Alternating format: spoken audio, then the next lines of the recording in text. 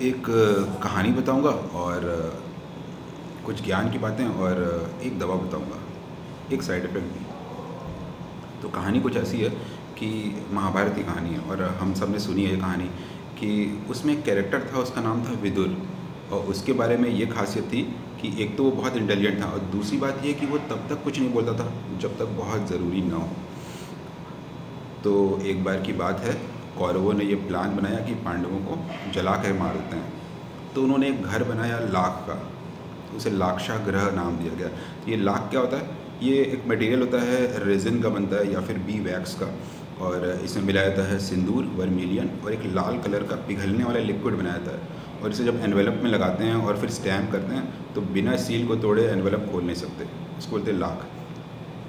तो लाख का जो घर था वो कौरवों ने जब पांडवों को हैंड ओवर किया तो उस दौरान बातों बातों में इधर उधर की बातों के बीच विदुर ने बहुत धीमे से एक लाइन बोली कि जब जंगल में आग लग जाती है तो चूहे बच जाते हैं।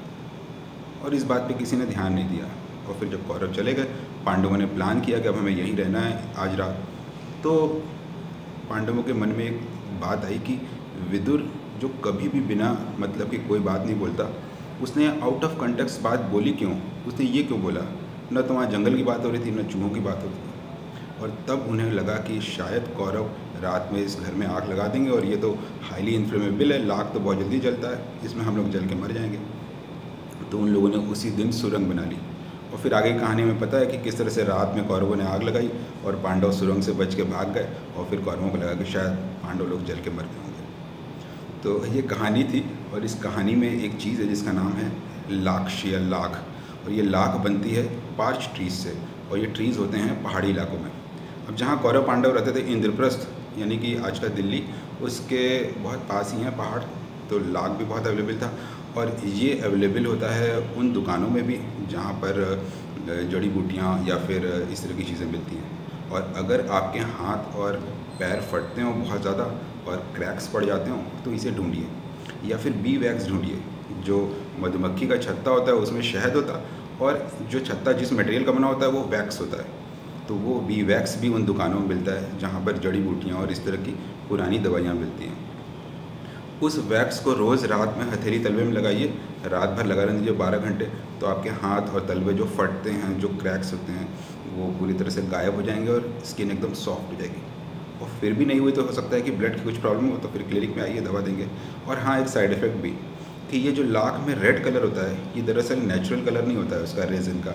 ये वर्मिलियन होता है, सिंदूर, जिसे बाद में मिलाया जाता है तो इसमें होते हैं कुछ हैवी मेटल्स और ये हैवी मेटल्स साइड इफ़ेक्ट करते हैं, जिसे हम लोग बोलते हैं कॉन्टैक्ट डमटाइटिस तो बहुत सारी महिलाओं को जो सिंदूर लगाती हैं, खूब भर भर के लगाती हैं, उनको यहाँ इचिंग होना शुरू होती है। फिर मांग के पास से बाल धीरे धीरे कम होना शुरू हो जाते हैं। तो एक तो बाल झड़ते हैं दूसरा अंदर इचिंग होती है और तीसरा कभी कभी तो स्किन बहुत ज़्यादा रेड हो जाती है और डार्क हो जाती है। तो अगर आपको ज़रा सा भी इस तरह की एलर्जी की प्रॉब्लम हो, तब तो आपको बिल्कुल नहीं लगाना चाहिए। इसकी जगह दूसरे रेड ऑल्टरनेटिव्स आप लगा सकते हैं या आप अपने स्किन के डॉक्टर से पूछ सकते हैं। और अगर आपको एलर्जी नहीं हो इचिंग नहीं होती, कुछ नहीं होता हो, तब भी आपको बहुत कम मात्रा में इसे यूज़ करना चाहिए। क्योंकि लॉन्ग टर्म में जो हल्का इन्फ्लेमेशन होता है, आपको पता नहीं चलेगा, लेकिन वहाँ से आपके बाल धीरे धीरे कम हो जाएँगे। तो एक दवाई मैंने बताई बी वैक्स या लार्ज रेजिन जो आपको मिलेगा उन दुकानों में और आप लेकर के हथेली और तलवे पर ठीक कर सकते हैं। दूसरा मैंने साइड इफ़ेक्ट बताया कि जो बर्मिलियन है, सिंदूर, इसमें हैवी मेटल्स होते हैं।